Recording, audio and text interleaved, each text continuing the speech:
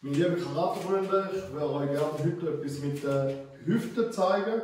Eine Übung, wie man die Hüften könnt einsetzen und auch mal spüren.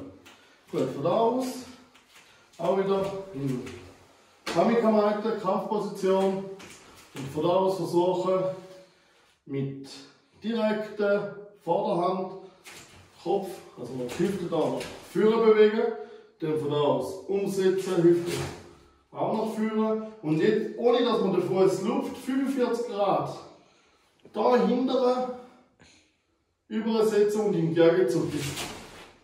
Und jetzt wieder nach vorne sitzen. Zweimal.